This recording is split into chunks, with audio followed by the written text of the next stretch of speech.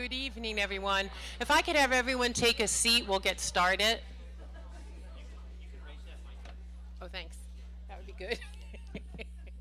thanks.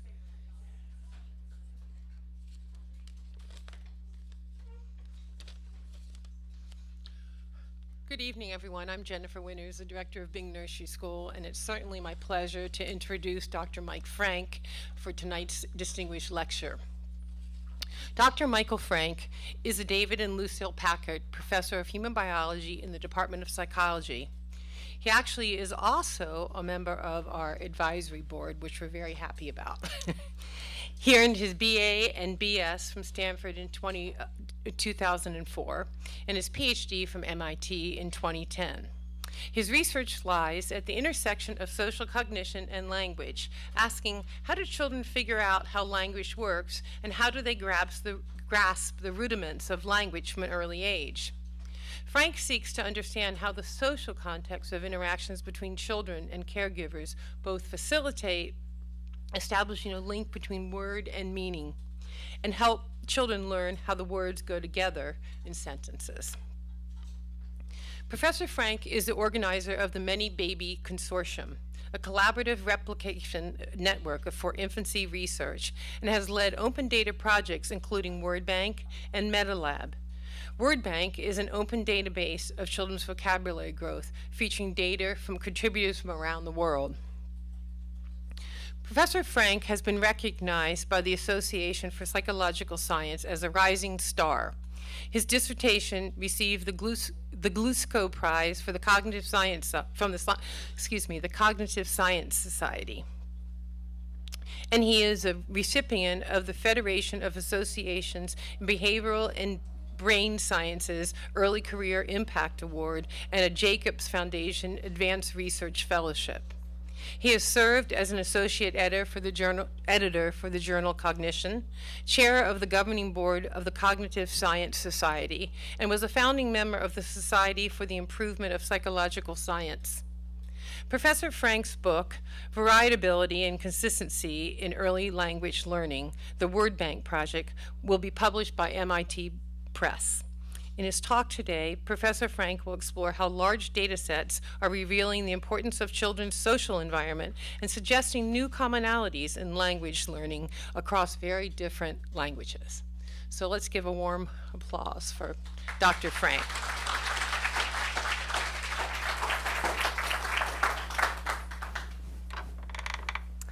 Thanks so much for the warm introduction. It's uh, really a pleasure to be here. I love being here at Bing. It's such a, a wonderful environment for kids and a wonderful environment for researchers also. So uh, in the next few minutes, I want to share with you some of the work that I've been doing with my collaborators over the last couple of years to try to move to using larger data sets representing uh, a larger number of languages in children to really explore children's language learning at scale. So language learning is one of the key scientific puzzles for cognitive science and psychology. This transformation from speechless, wordless infant to just a few years later, toddlers and preschoolers who may not be perfect at using language, but they know how to use language to make their way through the world and interact with other people. That's just an incredible transition, and every typically developing child makes that transition. How does that le learning happen? Well, one thing we know is that language explodes onto the scene. Uh, so here's my daughter, Madeline. Uh, this is her at 18 months. She's ready to go out. Uh, she's in her pajamas and she's got her purse and a, a, a sack lunch packed. Uh, and so, this won't be the last picture of her, by the way. Uh, so uh, at 18 months, the longest thing she'd ever said was happy bee for happy birthday. and then at 19 months, she combined words for the first time. This is like a psycholinguist dad made proud. so she says blue ball. At 20 months, she says move back. 21 months, bye-bye, other pirate. Uh, I could tell you the story about the pirate ship at golf course. Um, uh, 22 months, uh, dump it, my. She's asking, can I dump the cereal on the ground? And of course we say, no, please don't. But she doesn't listen to. Uh, 23 months, she observes that spike doggy, no food, eat dirt. This is my mother-in-law's chihuahua, and it's true that he doesn't eat food, he eats dirt. At 24 months, my like no this passy, so getting rid of the pacifier, at least temporarily. Uh, at 25 months, that too big, my too bigger. And at 26 months, she's a teenager already, and she says, Dada, move own body. Might need a little bit more space. so here she is at 26 months. Uh, she's maybe a pound or two heavier. Her hair is longer, and she's got a bunch more dirt on her face. Uh, but these physical changes pale in comparison to what's happened in terms of her expressive ability. She's gone from a kid who really couldn't express complex thoughts using language to one who can. And I know one way she didn't do this. She didn't do it by imitating me, right? I never said any of this stuff. so there's some generalization happening here. And that generalization is the heart of the puzzle. And this is a puzzle that puzzles cognitive scientists, and it also puzzles people in artificial intelligence and technology. Right? So the kinds of generalizations that Madeline was making in those sentences are critical for developing language processing algorithms that learn like human children, that make good use of data, that learn quickly, and learn to not just interpret what's being said, but move to what is being meant by those messages. And we interact with those language processing algorithms on an increasingly frequent basis. And sometimes they really don't understand what's being meant. Right, so developing a better understanding of children's language learning and its flexibility and generalization is a key priority in artificial intelligence and technology. And yet, when I turn to the literature in developmental psychology, what I see in terms of a theoretical framework is disappointing.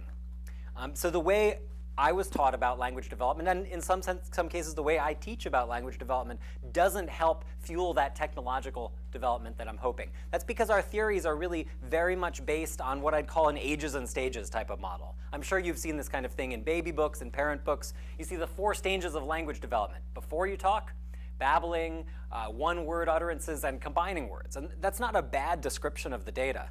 And in fact, in scientific papers, you get more detailed timelines that are slightly better descriptions of the data.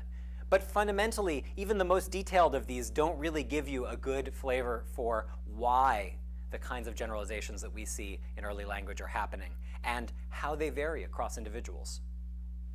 In some sense, what we're looking at in those ages and stages charts is a schematic child. This is a child whose vocabulary um, which is what I'm going to be talking about today, the number of words they know, that vocabulary is increasing over time. But that's kind of all we know about this kid. Unfortunately, when we look in the data, they're a lot messier than that one schematic curve. These are the kind of data that we're going to be grappling with, data from hundreds or thousands of kids, and they're all over the place. They're not just following that one same schematic curve, going through the milestones and ticking them off. Maybe you've noticed this when you compare your own child to the schematic in the baby book. In some sense, what we're seeing is a lot of different trajectories into language, that kids take many different routes into language. And what I'm interested in is both what's variable across these different ways that children acquire language and also what's consistent. That tension between variability, the differences between kids, and the differences between kids learning different languages on the one hand, and the consistency, the things that nearly every kid does and that happen in nearly every language, that tension is going to be what we try to learn about today. I also want to mention that our ages and stages view that doesn't acknowledge this kind of variability or doesn't try to measure it or describe it is also a lost opportunity. Research here at Stanford and in other places, including some influential work by my mentor and colleague Anne Fernald, has shown that early language is a very important part of later school outcomes. And early language, in fact, is one of the first places that you see socioeconomic differences manifesting themselves between kids. So this is the now famous study that uh, suggested a 30 million word gap between uh, those children growing up in high socioeconomic status homes and those children growing up in low SES homes. So uh, what I'm showing here is the cumulative vocabulary learned by those kids. And already at 18 months, a year and a half, uh, this work and subsequent work by Anne Fernald shows that those socioeconomic differences are starting to show up. That's important because when kids with smaller vocabularies go to school, they tend to have a hard time learning to read. It tends to impede their academic success. And you see a cascading effect of differences in early language. So the kind of basic research that I'm doing hopefully feeds back into a better understanding of these different pathways into language and where the right place is to intervene and change things. So because of this issue of not having the right theories, I've come to the conclusion over the last couple of years that we simply needed more data. So I went out to try to find those data. And the story that I want to tell you today is about the story of finding those data and trying to explore them and think about what generalizations we could make about children's early language. So before big data became a thing, it turns out that child language researchers were interested in big data. In fact, way back in the 70s, a couple of pioneering researchers developed the Child Language Data Exchange. They were mimeographing transcripts of kids' talk and sending them to whoever needed them to do their doctoral thesis. So that was open data, that was open science and big data and data sharing all before those kinds of things became mainstream. And now child, the Child Language Data Exchange, or CHILDES, is actually uh, a database that archives language data from kids all over the world, and it's been cited thousands of times and formed the basis for an entire subfield of work on child language. So they were uh, an inspiration. So child, CHILDES tells us about what kids say and what they hear, but it doesn't tell us the totality of what kids know about language. Uh, so inspired by this, a group based in San Diego, now about 20, 25 years ago, started thinking about how they might measure children's language. Again, thinking about uh, the kind of variability between kids and the need to get bigger data sets. And they developed something called the MacArthur-Bates Communicative Development Inventories. It's actually originally called the MacArthur. Uh, but Liz Bates, sadly passed away, uh, you know, sort of during the development process, actually was one of the major inspirations for, the, for this forum. So uh, it leverages a simple insight, which as parents we all can get behind. Um, we're experts in our own kids. We may not be experts in language, but we know our own kids, and we can be sensitive observers of our own kids if we're given a good chance. So the uh, CDI, as it's called, the Communicative Development Inventory, is a series of checklists or forms that researchers give to parents. They ask them to take a quiet moment and think about their child's language and answer a series of simple questions like, does your child say baba? How about choo-choo? How about cock-a-doodle-doo? How about grr? And so forth and so on, going down uh, hundreds of items to try to get a picture of the totality of children's vocabulary. Now, for a, a five-year-old like I have, that's not really possible. I don't know all the words that my daughter Madeline knows. But for a one-year-old and sometimes a two-year-old, two and a half-year-old, you really can sum up most of their knowledge in this kind of checklist.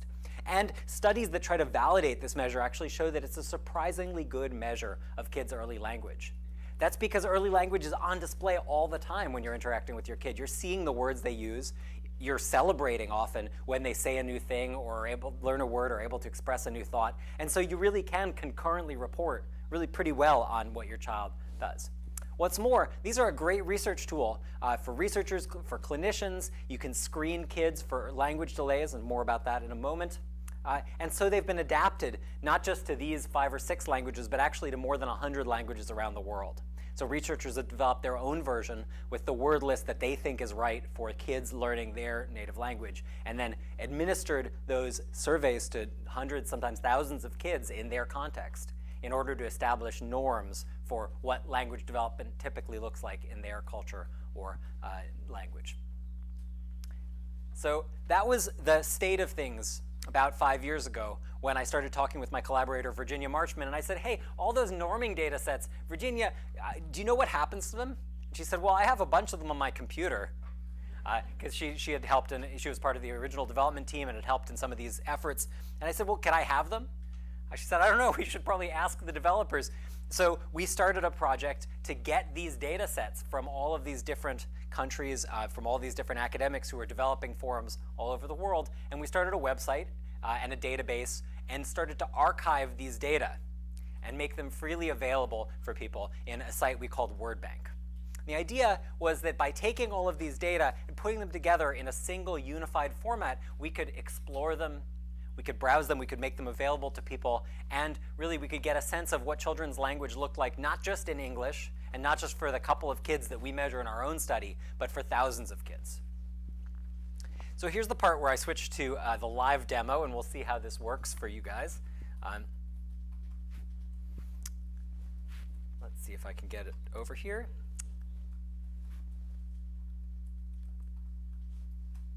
So this is WordBank now live on the internet. Uh, you can go on your phone or on your computer and uh, browse around. If you do that now, I'll notice because the server's not so good and it'll probably slow down. Uh, but um, we're working on that one. Uh, so you can see that, that WordBank now has data from 75,000 different kids. Uh, there's a huge British English sample, Norwegian, English, uh, so American, Danish, Portuguese, Turkish, Mandarin, Korean, Spanish, uh, Beijing Mandarin, um, Taiwanese Mandarin, Russian, Slovak, Australian English, Swedish, and so forth. Lots of different languages, lots of different projects and researchers contributed here. And so you really get a sense of what kind of global effort this is when you look at all of the different researchers who've contributed here. Far more than I could possibly name. People uh, giving us as many as 3,000 different uh, um, different uh, data points, and people contributing as many, just a small handful, maybe 80. Uh, so this is a really a, a collective effort. And what we've done is bind these things together in a format where we can explore them. As part of that, we actually provide some exploration tools, which are kind of fun to play with, even if you're a parent or interested person uh, and just want to mess around. So here, here are uh, the data that I was showing you as that messy variability uh, before in the background of my slide. So this is the data from kids learning English learning, uh, in the US from 16 months to 30 months, to about two and a half. At two and a half, we kind of say, you know, um, we're not sure if the parents know exactly what the kids know at that point. But by two and a half, um, we're doing pretty well. We can ask 680 different checklist items, and kids do pretty well. Uh, so um, this is the size of the productive vocabulary, and you can see the uh, 90th percentile is rising really fast. The 10th percentile is rising more slowly. Uh, we've got a median here. And you can ask questions about this. So for example, you might want to know about um, girls and boys. Uh, so uh, my first child is, is, a girl, my second child is a boy. I'm wondering, could, what are the gender differences here? So um, I could break these down by the median and see, oh, okay, uh, looks like the girls have an advantage in English. I wonder if they, preschool teachers, uh, and probably anybody who's observed a preschool classroom is like, yeah, yes, that's true. That's right. Um, but uh, is that true in Croatian? Yeah, it seems like it's true in Croatian. Uh, how about German? Yep, yeah, the girls are winning. Um, how about uh, Korean? Mm-hmm.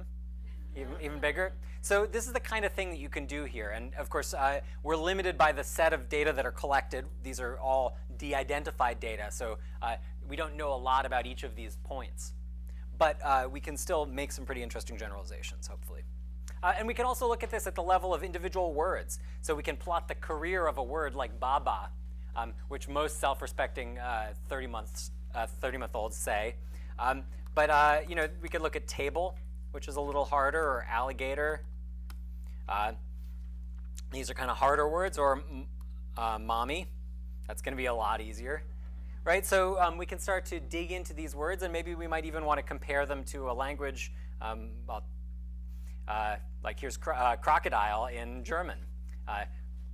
Uh, do American kids say, uh, say alligator before um, German kids say crocodile? This is an interesting uh, research project for a student, right? Uh, the alligator thesis. Okay. And, and we can even actually dig in and do more interesting things. For example, here um, what I'm showing is a network that's made up by linking words that are semantically related, meaning related in their meaning.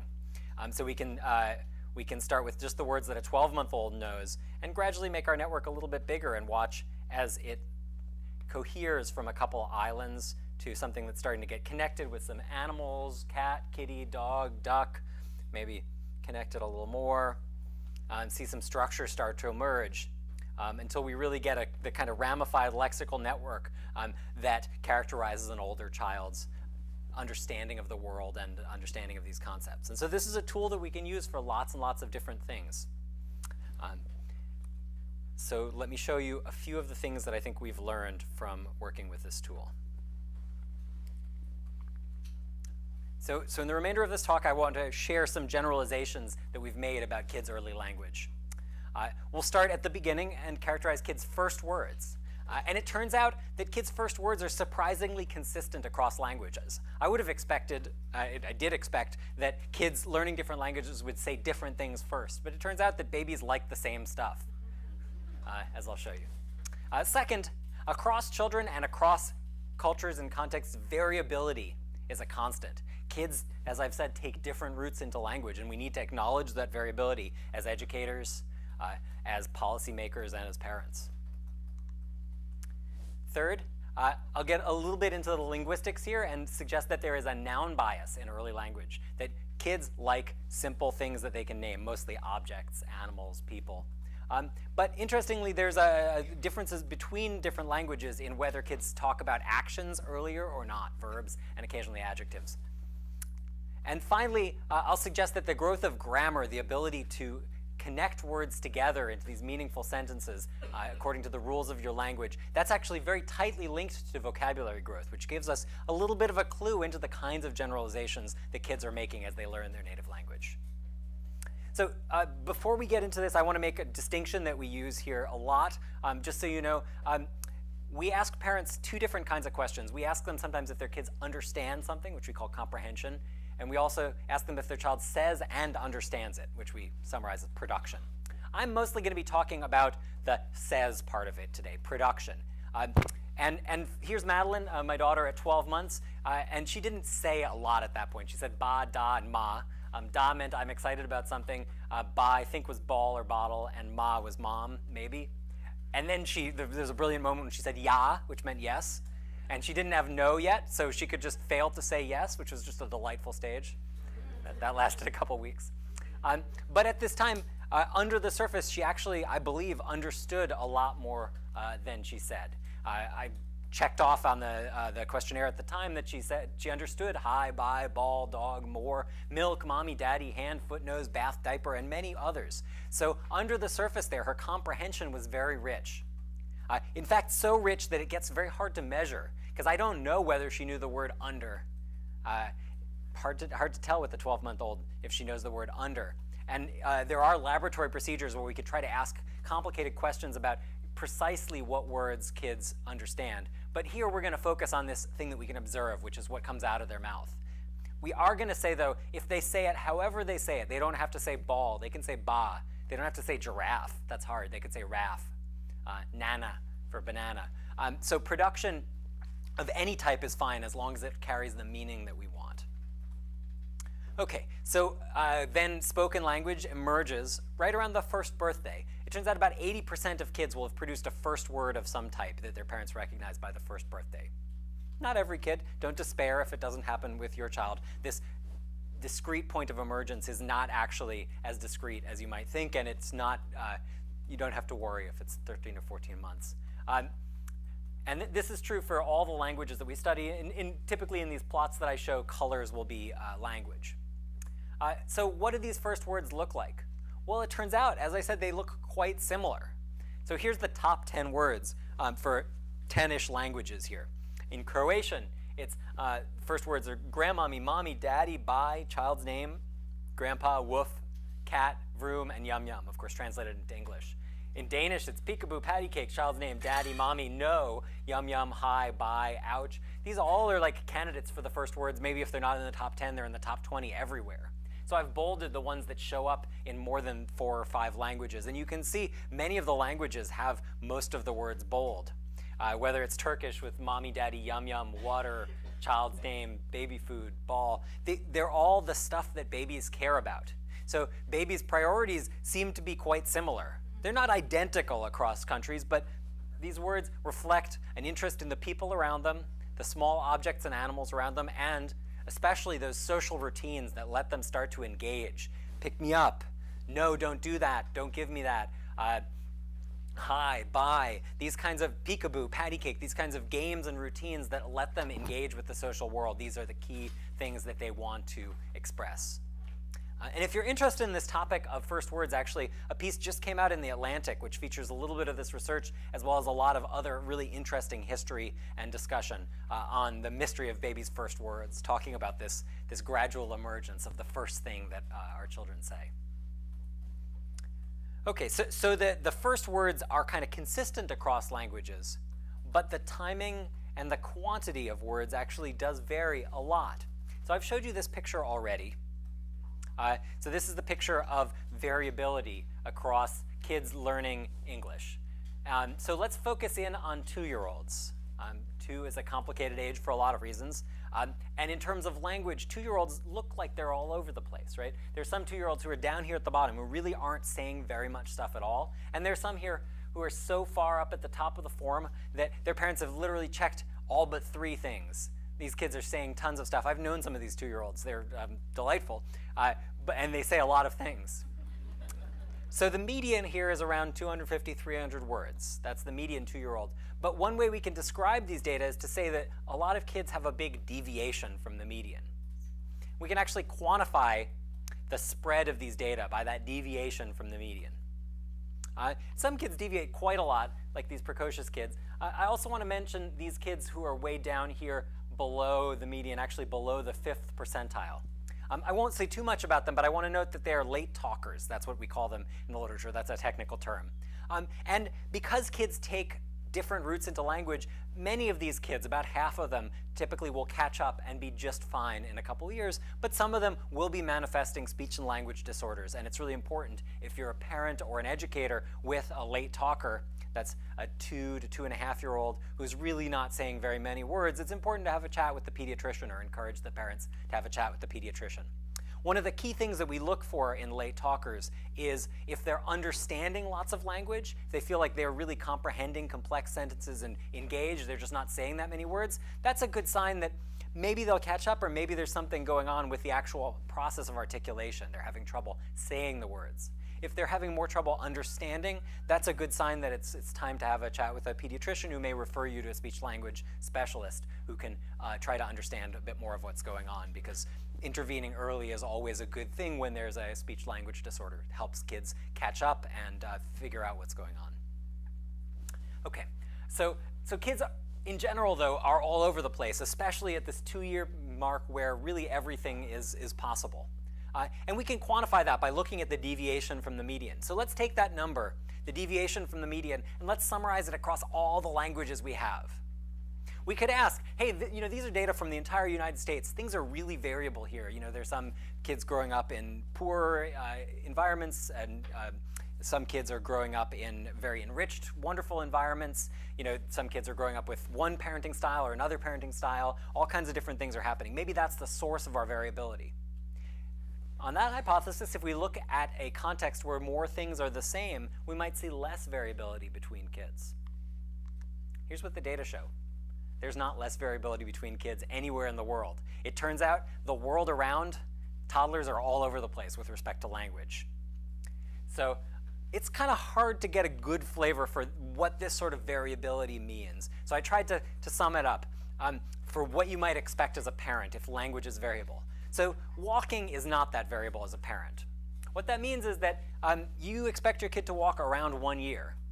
And the range is really only about two to three months uh, in the typical range. So uh, here's Madeline at 12 months. That's when she walked. I wouldn't have been that surprised if she walked at 14 months, and that would be the basic range.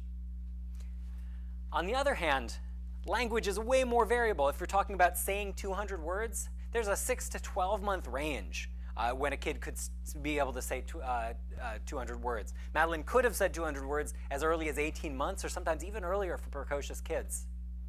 She's just a little baby. She's barely walking that well, but there's some kids that are already talking up a storm. She was actually right in the middle. She said 200 words just a little before 24 months. She's kind of a full-fledged little toddler, preschooler guy here. And then uh, she could very easily have typically been uh, saying them as late as 30 months that would have been within the typical range, and she would have been, you know, in her preschool class having transferred over already and really, you know, making friends and interacting. Uh, so there's just a huge range that we should expect in the range of normal variation. And that variability is very interesting, and that's really what we're going to focus on uh, for the rest of my talk. Okay, so, so just because it's variable doesn't mean we can't predict some of it. And as I said, some of it is very predictable from biological sex uh, female versus male. So uh, you don't even have to know what countries these are because the pattern is just about all the same uh, in nearly all of these graphs, 25 out of 26 or something like this. Um, maybe we added one recently. Uh, the uh, blue line for females is above the red line for males, and almost to about the same degree. It's very consistent across countries that girls are slightly better at language than boys. Not tremendously better, but on average, you know, noticeably better, the kind of thing so that if you have a girl, you expect them to be a little bit faster. Uh, as uh, the writer Emily Oster says, um, if, if you have a girl first and then you have a boy, you start thinking, what's wrong with your boy? If you have a boy first and you have the girl, then you think, my girl's a genius. uh, so um, so here, here's my son Jonah. He's four months old. Um, I'm, I'm not worried about his disadvantage yet, but we'll, we'll see what, what crops up. Um, on that note, though, Birth order also has a predictable effect on language. Uh, here the English data, um, blue firstborn is a bit higher than yellow for secondborn is a bit higher for thirdborn and below. Um, so now Jonah is doubly disadvantaged. right, so we'll, we'll see what happens, but um, I'm sure he'll be fine. Uh, and we, uh, we see that this pattern is also extremely consistent across languages. Again, these aren't huge effects, but there really are these differences, and it helps us predict what's going on with, with uh, kids' outcomes. Uh, a slightly sadder uh, pattern, which we also observe across uh, countries and contexts, is that maternal education, the mom's education, um, which is a pretty good proxy for socioeconomic status, when you compare across countries, you can't really compare variables like income because income really varies a lot between countries. But if you look at uh, how many years of education the mom has, that's a pretty decent proxy that you can look at. And what we see is that uh, if you've only completed, uh, um, if you haven't completed secondary education, your kids tend to have a smaller vocabulary uh, than if you complete secondary, college, and above. And, and these vocabularies are not big. This is the general rate of growth uh, that we're worried about because we're worried that kids with smaller vocabularies are going to have trouble when they hit school.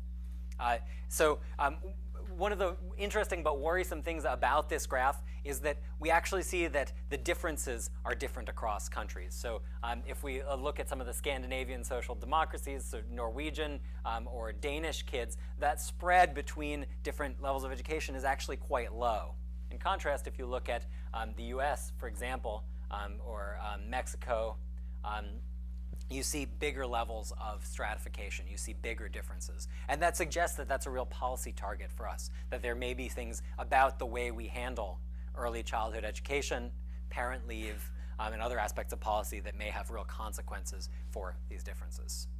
Uh, in fact, uh, these differences are the focus of a lot of recent interventions here in the US, Providence Talks, or um, the New York intervention uh, and advertising program to encourage talk to kids.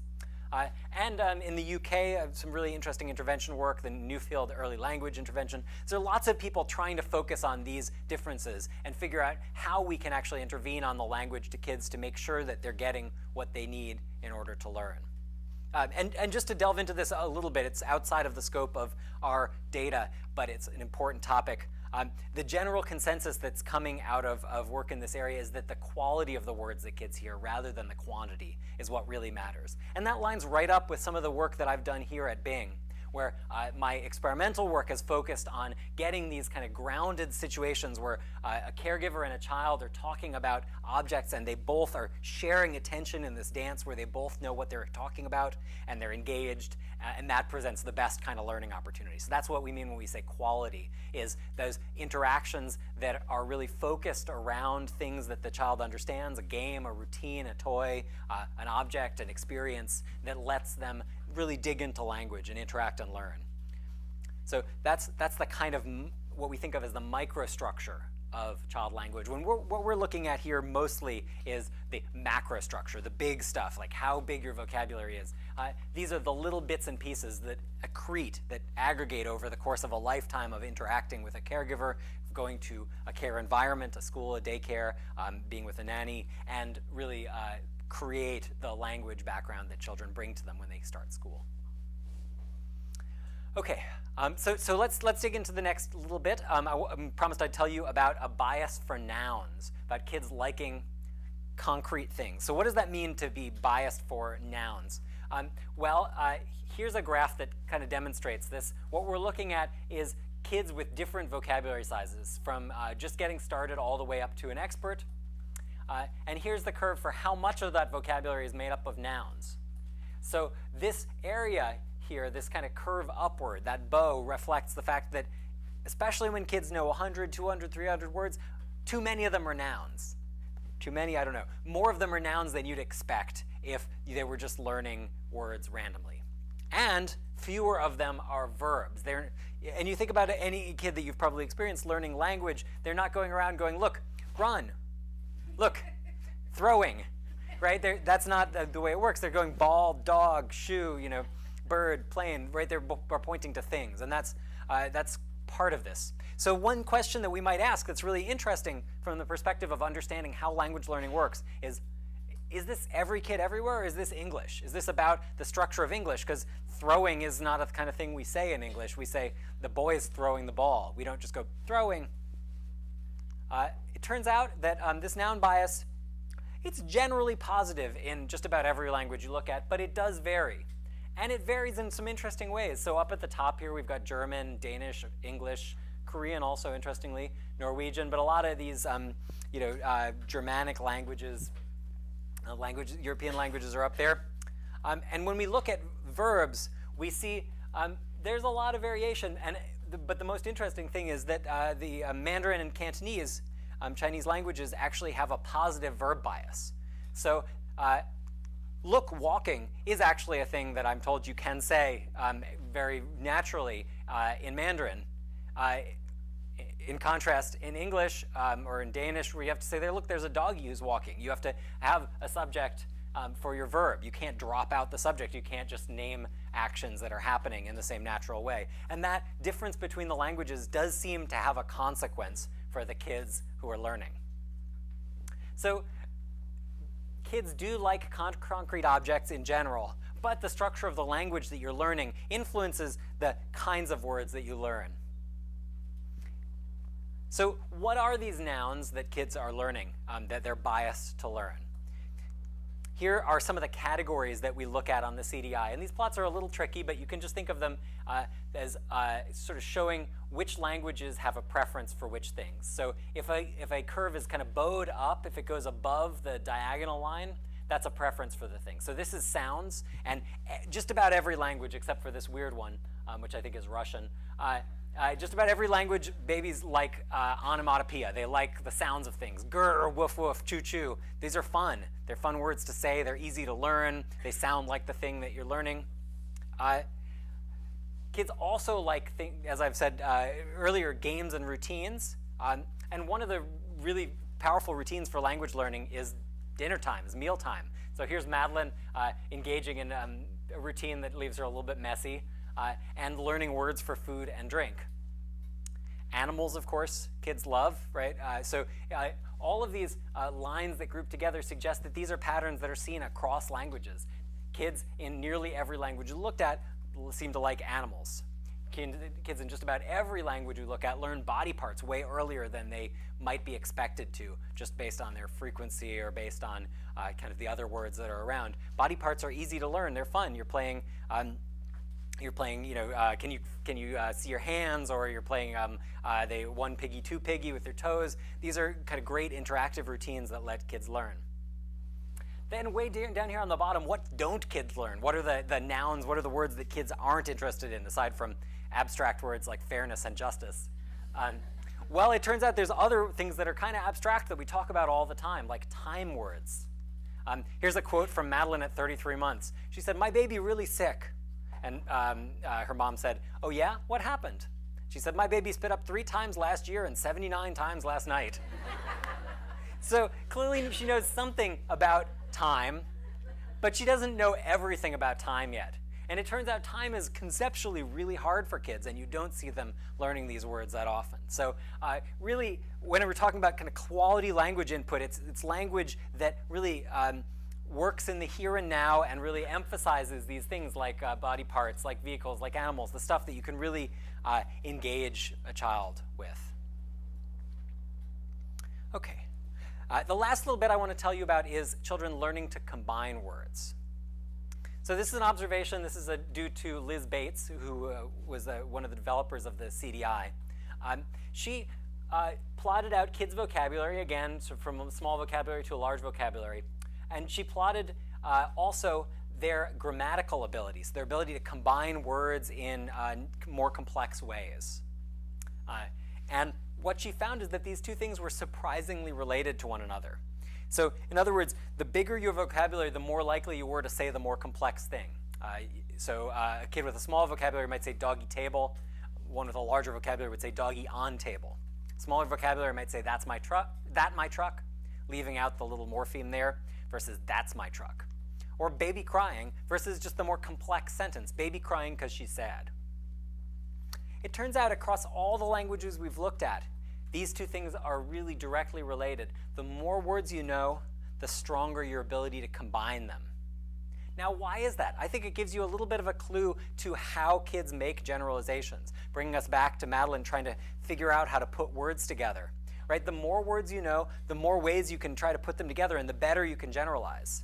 So here's Madeline at 17 months. Uh, Mama no go work. Dada no go work. Madeline no go daycare. Grandma me no go airplane. Right? She's kind of working out what we call a construction, a way of putting words together to make meaning. Um, of course, what is she describing here? Uh, this is the weekend and all that stuff happens. So, having learned this about the noun bias, having learned this about grammar and vocabulary, we're now in a position to actually come back to this idea of children being variable. And it turns out when we look back at the data, we can now describe a little bit of these different routes into language. So it turns out that the, there is this spread of different trajectories, different ways that kids learn, some slower, some a little bit faster. Um, and they're characterized in really interesting and different ways that come out in the data. Uh, in particular, some of these kids who are younger, who are talking more, who are talking up a storm, um, there's a label that's been given to them, which is they're referential kids. And this actually characterizes them pretty well. They know more names. They tend to be more nouny, noun biased. They, they're just kind of walking around picking up the names of stuff, and they tend to combine those words a little bit less.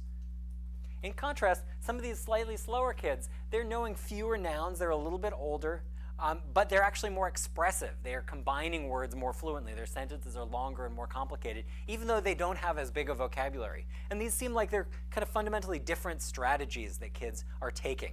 Uh, these were first documented uh, by Katherine Nelson in her observation of just a small number of kids, where she really noticed tightly some of these kids look like they're doing something different.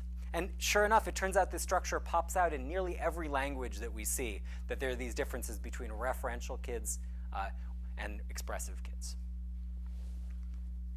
All right, so just, just to review uh, what I've said here, I showed you a ton of graphs, uh, but hopefully uh, you got a little bit of, of the flavor for what we do. And uh, what I tried to argue is that first words are very consistent across languages. Across children, variability is just a constant. Kids are all over the place with respect to language. Uh, and uh, one consistency that we do see is this noun bias, and that characterizes one aspect of the variability between kids. Some kids are nounier, they're more interested in naming objects. Finally, the growth of grammar is linked to vocabulary growth. And I hope now you're convinced that bigger data sets, like the one we're trying to gather here, can help us understand human development. So as we go onward, the CDI is not the starting place or the ending place for studying language, it's a way station along the way. We use these questionnaires, they tell us something, but we're starting to use more detailed measures as well. So we're bringing kids into our lab uh, here in Palo Alto. We're also bringing kids um, into a collaborator's lab in Hong Kong, and we're using head-mounted cameras, seen here, uh, through the lens of the mom's head-mounted camera to really characterize what's going on. Uh, we're trying to use these to help us inform the kind of technical models that actually model kids' exploration and learning uh, in, in the process of playing and interacting with other people. We're also trying to branch out beyond the questionnaire, beyond the checklist. Um, so we've got a brand new app called Wordful up in the iOS App Store if you're interested. Uh, you can download it and track your child's vocabulary in real time. Uh, now you can swipe words left or swipe right to let us know. Yeah, I, am told that's a popular user interface. Uh, uh, to let us know if, if your child is uh, beginning to say dog or ball. Uh, so in all these ways, we're trying to bring data to bear on this fundamental question. Uh, and I hope you leave thinking that this question is really something that not only is at the heart of trying to understand technical development as you interact with your phones and the devices around you, it's also really at the heart of child development. So thank you very much for having me. I'd like to thank uh, the supporters, uh, notably a Bing alum, uh, the, the Zhou Fund for Language and Cognition, as well as the National Science Foundation and the Jacobs Foundation. And uh, thank you to you guys for having me.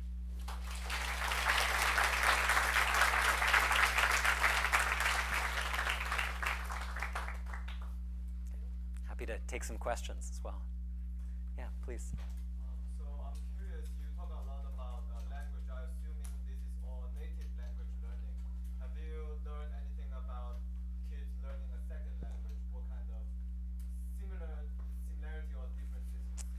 Yeah, yeah, it's a great question. So, so there are two different cases we could be talking about. One is uh, what we might call sort of early bilingualism, kids learning two languages simultaneously. And then the other is maybe uh, late bilingualism or second language learning uh, as a child is adding a second language um, on top of the first. Um, so unfortunately, this data set tells us relatively little about those because uh, the developers of a lot of these forums were very interested in children's uh, normative growth in their own language. It's like, what, what does it look like to typically learn Norwegian?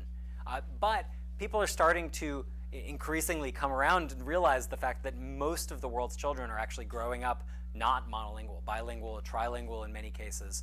Uh, and so that, that poses a challenge for this kind of assessment. You have to figure out how to uh, put together the data from two different forms. And, and folks are starting to do that and starting to say, well, what's typical when you've got, when you're learning uh, English and another language? And um, some of the words overlap and some of them don't.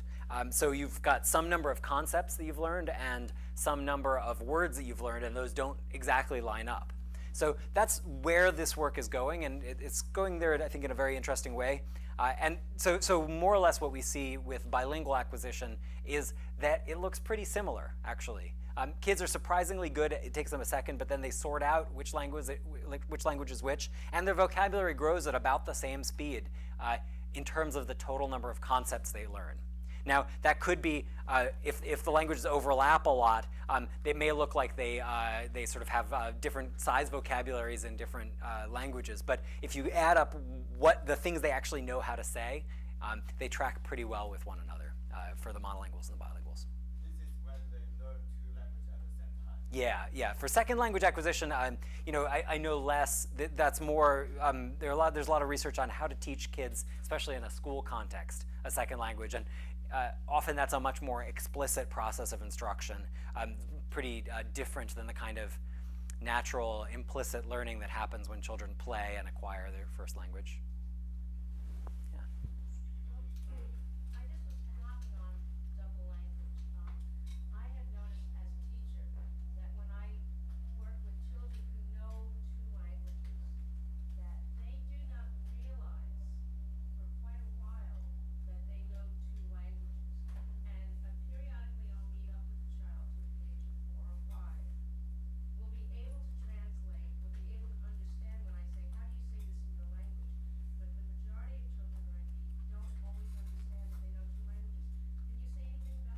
Yeah, that's a cool phenomenon. Um, I, you know, I, what I think is really interesting, I, I would guess if they're, you know, these younger kids um, are in the preschool range, they probably are speaking the right language in the right place to the right people, but they don't know that there are two things called languages that are named in this way. So one is the ability to use it, and the other is um, what we call the metacognition, the knowing that you know these things. And I think one of the lovely things about children's uh, view of the social world is they don't see it as separated, as bifurcated, as divided as we do, right? So kids don't notice even that people have different genders uh, for quite a number of years. And then often for a couple of years after that, they don't notice that there are different races. They're not breaking down the world into this language, this skin color, this uh, gender in the same way as they, they do learn it. They, they, they figure this out. But especially in the preschool age, there's a real openness.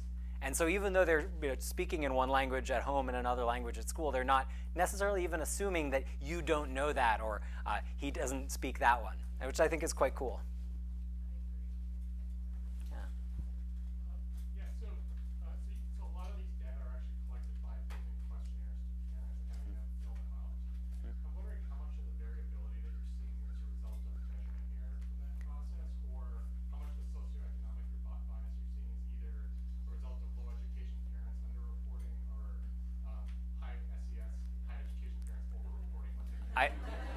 I love it. I love it. This is this is the kind of stuff that keeps me up at night, and I.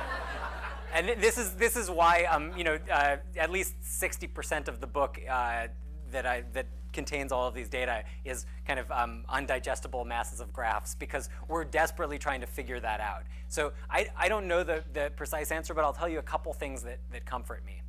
So um, one, you know, uh, one of the things that you naturally worry about when you see something, for example, like the gender disparities that we see, you think, well, what are parent stereotypes of boys versus girls? Are they just thinking the girls know more words, or do the girls actually know more words? Uh, and so we, in that particular case, we can go to other methods for measurement um, that are, have been done very reliably. You can bring the kids into the lab and uh, ask them to point to things. You can measure their language uh, in a naturalistic play session. You can do all these things that are different methods, and the, uh, the measurements converge really very nicely to a gender difference that's about the same size. Now, you might ask about the socioeconomic differences. Is the same thing true there? Uh, there, we have less data. Um, but the data that we have actually you know, in some cases they go the opposite direction. We see sometimes uh, we see sometimes underreporting, but we also see overreporting as well um, by socioeconomic status. So we see we see some variability in lower socioeconomic status reporters because they're not sure what we're asking, or they're doing this at a moment that's difficult, or maybe the instructions haven't been given in a way that are easy to understand. So there is more noise in those groups, and there regrettably are fewer data from especially um, extremely low socioeconomic status folks in here. Most of these are still kind of pretty uh, base middle class families. But, uh, but there is some variability that's due to that, and quantifying that is one of the things that we're actually actively working on. Yeah, go ahead.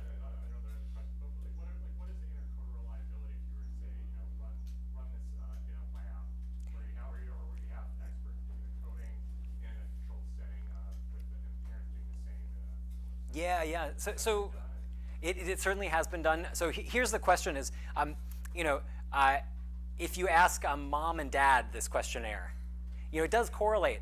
But actually, they know different words that the kid knows, right? Because dad takes the kid to the zoo, mom takes the kid to school or whatever, right? There, there are different aspects of the vocabulary that they, uh, they can both be right, in other words. Um, so that, that correlation is about 0.6. Um, if you give um, dad the, the, the uh, questionnaire now and then dad the questionnaire in a month, it's about 0.8 or maybe even 0.9 in some studies. So it's very closely related. But you know, as you go longer, the vocabulary is actually shifting. So the words that you know are different, and so the correlation goes down. So, you know, one thing you can ask about these kind of data is, is what else could we be doing?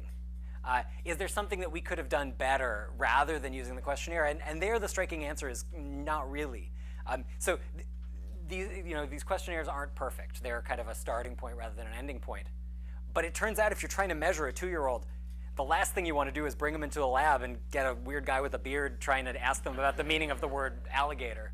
Like I could get you know four or five, maybe ten questions in as a skilled experimenter, and then the two-year-old is out the door, you know, running down the hall, and we're all chasing after them. So, um, it, it is actually surprisingly tricky to to get an assessment. So, so um, you know, I think where we are is we've got the most reliable measure of a two-year-old, which is not very reliable. so, uh, yeah.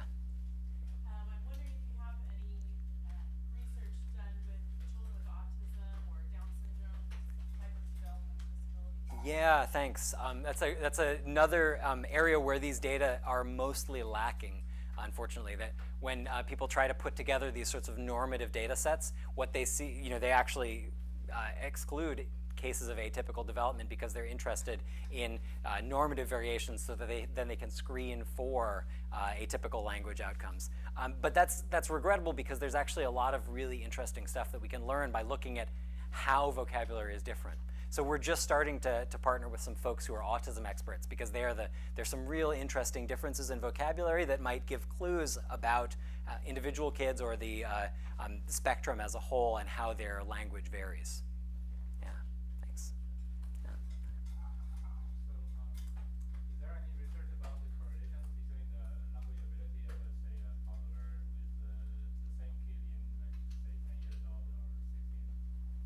Yeah, um, the, the longer you go out, the, um, the harder it is to get those kinds of data.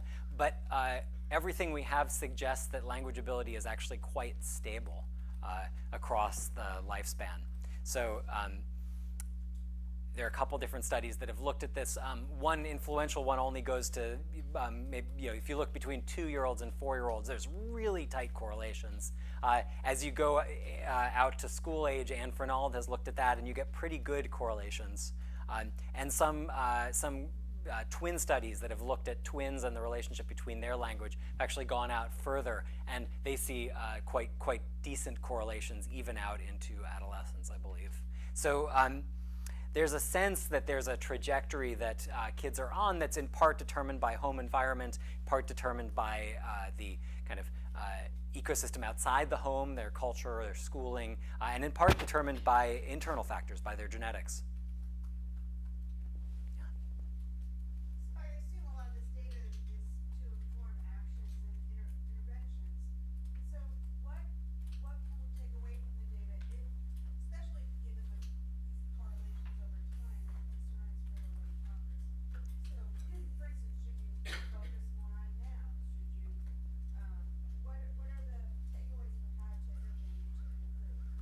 Yeah, I, I think I, I, would go back um, not not to these data as much as to um, some of the other experiments that we've done um, where we really investigate what the factors are that help kids learn a word in a specific interaction.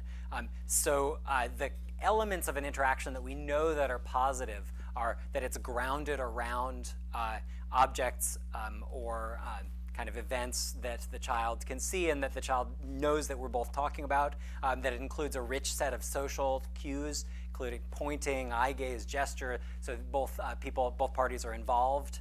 Um, that it's extended, it's not just a one-off comment, but it really engages over time. So it's a discourse, so it's lots of uh, uh turn-taking and interaction back and forth.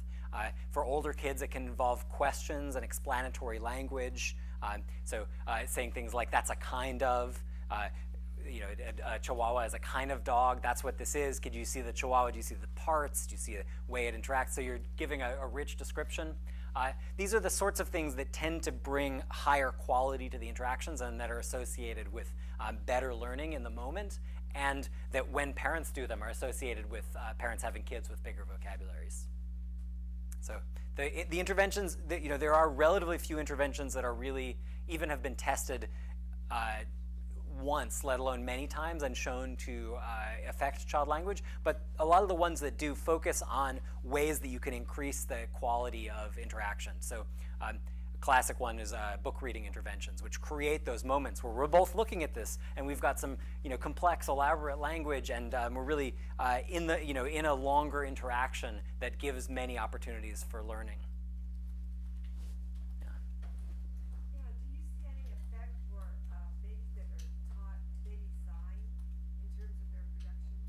So uh, there is a sort of a limited amount of data about this early baby sign. So the idea, you know, you, you teach your child um, more or milk or some of these signs. Uh, my impression of what little data there are is that uh, there are no negative effects, um, but also um, not any clear kind of positive effects. I think it would be a big deal if there was a clear positive effect, and it's sort of unlikely a priori.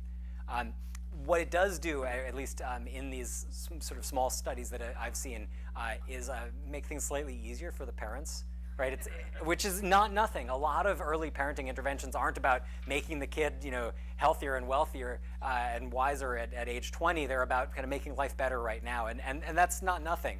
Um, I know as a parent of a four-month-old, right, if he could tell me my diaper is wet, that would be great, right? So, um, you know, I, I, think that that's the primary function of these uh, very early communicative signs. Um, they might, one, one note about them though, um, early signing actually can um, be a manifestation of uh, a general early gesture. And early gesture is actually really very positive for language. So, so kids um, putting together gestures and words, doing a lot of declarative pointing, doing a lot of, you know, pick me up or give me that, those kinds of gestures are a way that kids who can't necessarily say the words yet are uh, you, expressing themselves. And, and, that's a sign, and, and it seems to be related to kind of later language going well.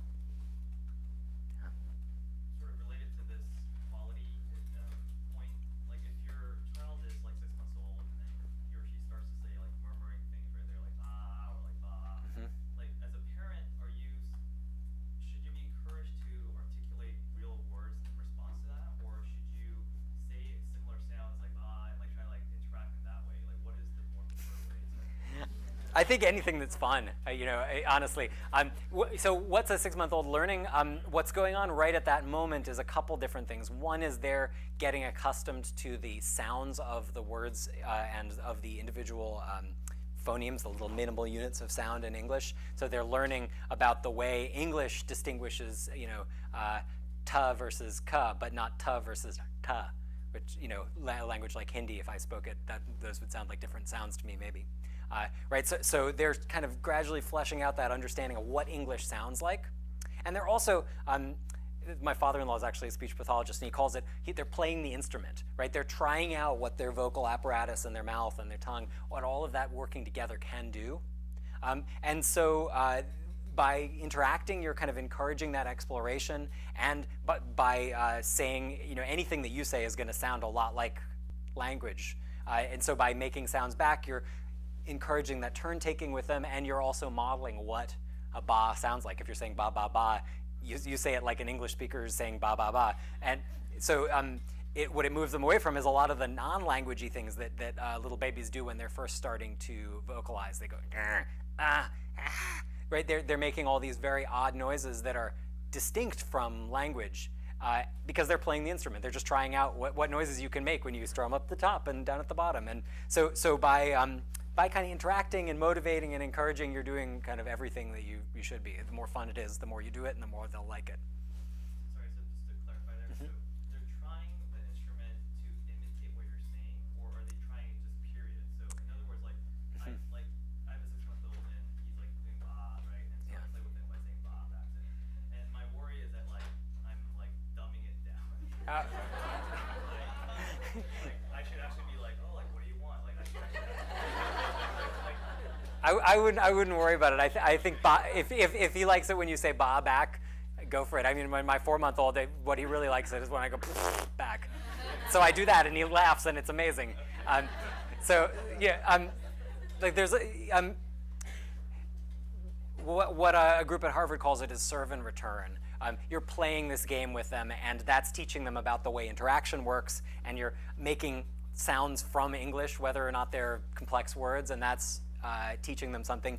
You know, when uh, your son wants uh, more complex input, he'll be actually making offers that require that. So a thing that we find is that when kids start to locomote, and especially when they start to walk, they can offer things up to you that require you to say something. Oh yeah, that's a, or no, put that back, right? Um, so the, the things that a slightly older infant can elicit from you are the right things. They're more complex, and the things that a baby elicits are mostly like, "Mm," you know, and you do that, and that's fun too. So I, I, I wouldn't, I wouldn't worry about it. Yeah. My husband and I speak different languages, and maybe when he speaks to my son, like saying corn, he says bop in Vietnamese. But I'll also let him know this is supply in Cantonese. Does that actually hinder or confuse him? And that's what I really worry about, because he also used words in English too, where we're like, where did you learn that from? So, so the ability of, of uh, little kids to figure out and become trilingual is just astonishing, right? Like if I could do that trick and you could say those things to me, and I could become trilingual, and I would do it in a second, right? Um, I think you know there are some folks recommend um, the sort of one parent, one language kind of strategy, which there's maybe a little evidence that can you know, speed up the process of figuring out which is which. But uh, what's remarkable is, is just sort of hearing this mix of sound. Your, your child will kind of figure out what are the sound patterns of one and the sound patterns of another. And there will probably be a period of confusion, um, which just sounds like I, you know, saying one thing that maybe is kind of between languages. But um, by two, two and a half, um, you, they're going to start to diverge, and uh, you know, the, the typical outcome is that things work out really nicely. So, so uh, a lot of parents worry about confusing their kids with bilingual input, but in fact, that may be the way most kids learn, right? Um, I did some research in India a number of years ago, and I was just amazed at how the assumption was that there was going to be a different language for different family members, different interactions, different kinds of uh, uh, contexts, and that was just fine. And the kids were learning five languages in the course of their daily life. So.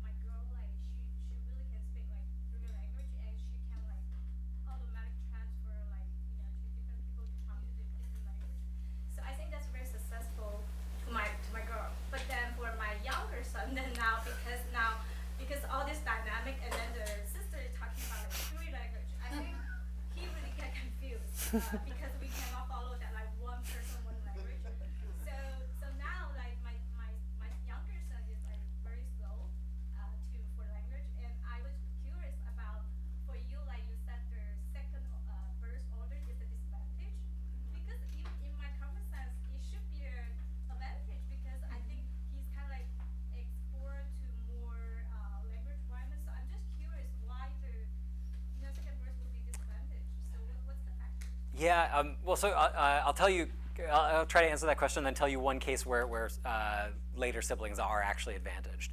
So, so here's, here's the theory, and I think nobody knows if this is really true, but it seems sensible. Um, what we want, you know, what we think are the best learning outcomes are these just quality interactions where you've really got a, an extended period of time talking about a particular context. And those are just going to be necessarily a little bit more rare in a two-child household and a little bit more rare still in a three and a four.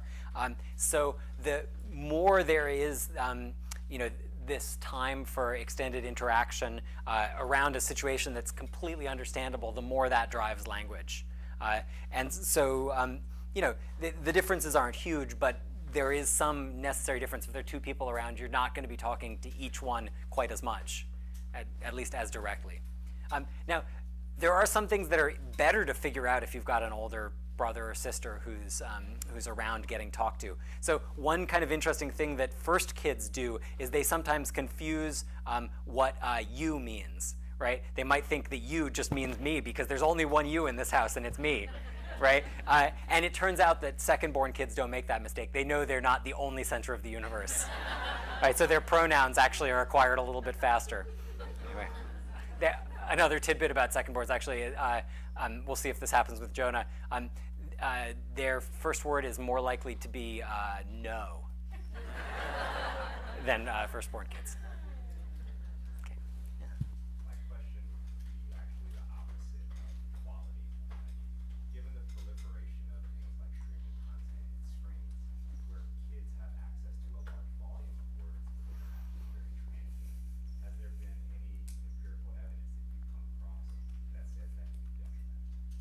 Yeah, the, the question of uh, screen time and of interactive media especially is one that I, think every parent is thinking about uh, often all the time uh, by necessity. Um, so the, you know, the, the evidence often lags a bit behind the technology. So a lot of the, we were just started making up our minds about TV when along come, comes the internet. Um, so with, with, little kids, um, you say under two, there's pretty good evidence that it's hard for them to learn, especially from non-interactive media. It's really tough for them to get the meaning of a word from a, a television show. Um, if, uh, and if you play uh, sort of speech sounds in, in Mandarin, um, which might be exposing them to appropriate sound patterns, they don't seem to learn as much from that. Uh, as opposed to interacting with somebody who's speaking Mandarin to them, then they seem to learn the speech pattern, so uh, the you know the the sound pattern. So um, kind of non-interactive media doesn't really work for these little kids. On the other hand, really interactive media does. So Skyping with a grandparent uh, actually uh, is an opportunity to learn. And there are some nice word learning studies that use a kind of Skype communication, uh, which I think resonates with a lot of people that, that um, video chat actually is a great way to connect and it can be wonderful, especially for kids that, you know, like mine aren't that good at talking on the phone.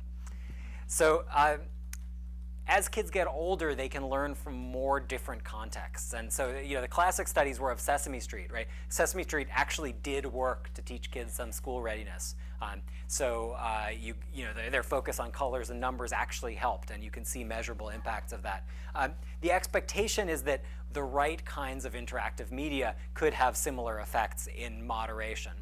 Uh, what people always talk about in this context, though, is opportunity cost, right? What, what does it come at the expense of? Uh, if it comes at the expense of this high quality interaction, then that's not good. But if it, it comes at the expense of, you know, um, half-hearted attempts to, to regulate while you cook dinner, well, you know, everybody has to cook dinner at some point. Um, so, uh, you know, I'll tell you what our family does, um, and, and, and I don't think any, any family should necessarily choose this one, but um, uh, since she's was one and a half accidentally, Madeline discovered YouTube and she immediately noticed that it was the most amazing thing that she'd ever seen, and we regretted the uh, actual accident that uh, exposed her to it. And we, after a couple months of chaos, we discovered a plan, which was that she could only watch YouTube while she had a toothbrush in her mouth.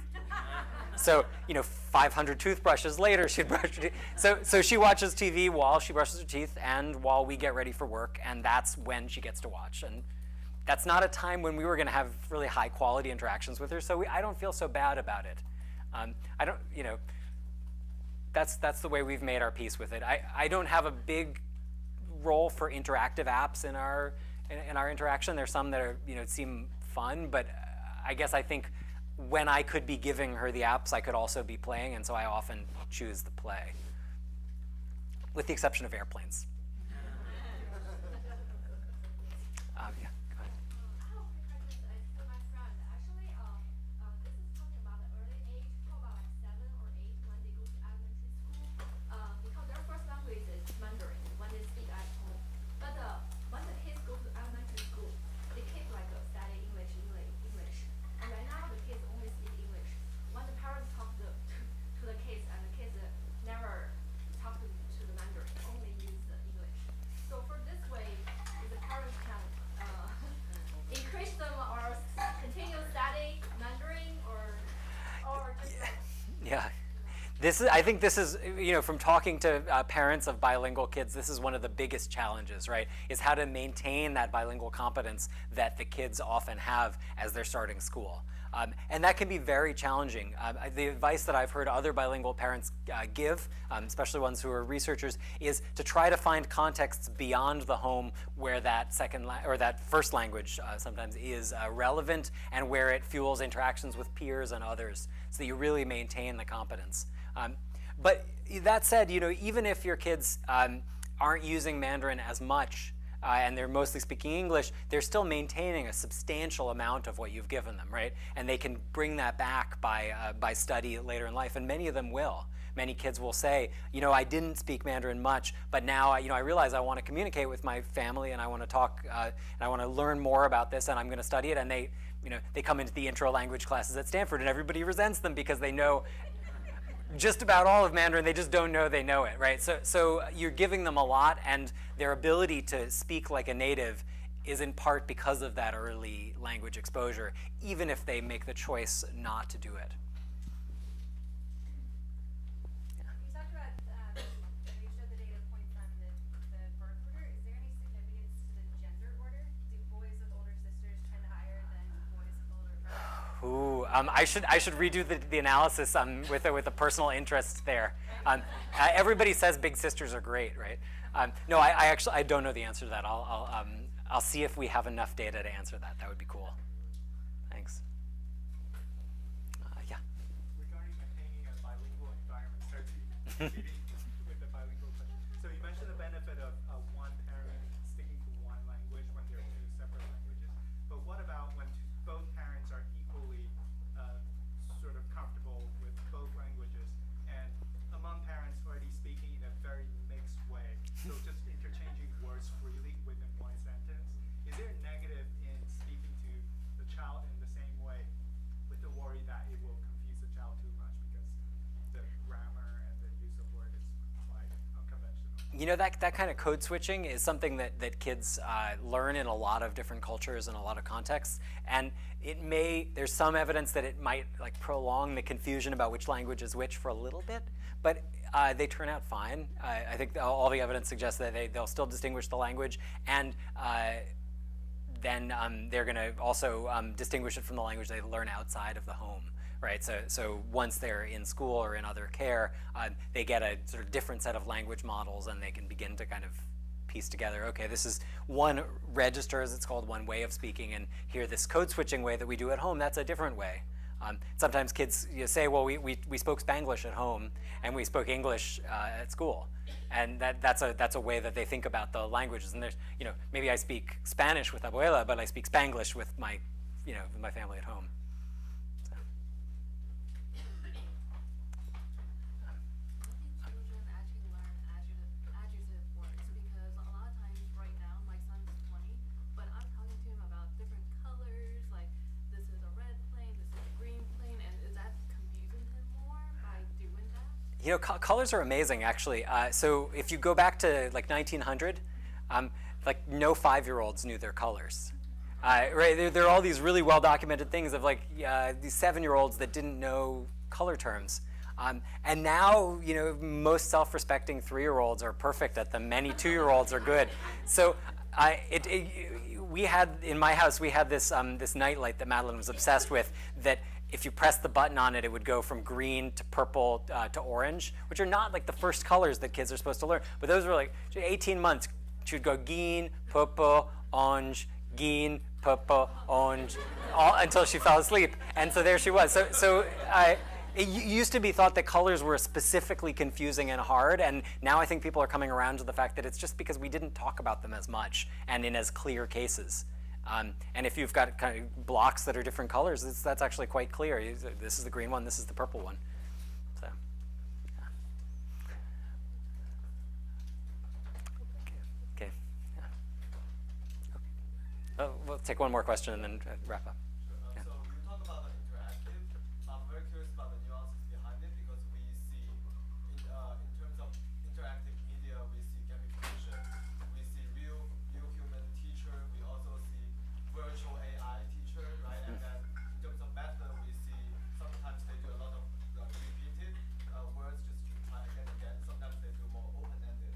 So I'm curious, in terms of that scope, what kind of nuances do you find are important to make it effective for kids to learn language? It's going to be different for different ages, I think, right? So, so for um, very young kids, for um, for infants and, and preschoolers, uh, you really uh, the contingency that comes with interacting with a human or with an agent that knows that you're attending and are interested uh, is critical because you know as anybody who's played with a two-year-old knows you, you really have to kind of maintain their focus and attention on the game or they're wandering off to do something else and that opportunity is lost so that that contingency and and uh, what's called joint attention is really what drives the interaction for slightly older kids it may be that the rewarding nature of the interaction and the ability to predict it and get some kind of um, kind of uh, visual reward is, is exciting and, and fun and may drive things more. I, I think this is an area where, again, the tech is moving so fast uh, that you know by the time the research catches up, the